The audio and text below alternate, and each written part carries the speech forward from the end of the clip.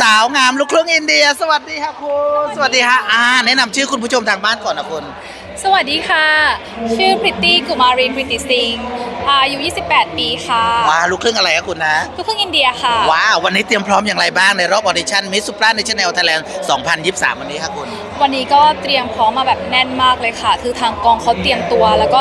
ให้ guidance เราที่ดีมาก เราเลยทุกคนสาวงาม 17 คนเนี้ย เราพร้อมที่จะสู้ค่ะ อืม ก็ฝากเชียร์ด้วยนะคะ ได้เลยอะขอกำลังใจอีกรอบหนึ่งแล้วฝากช่องทางการติดตามเรา Facebook หรือ Instagram ได้เลยค่ะ ได้เลยค่ะ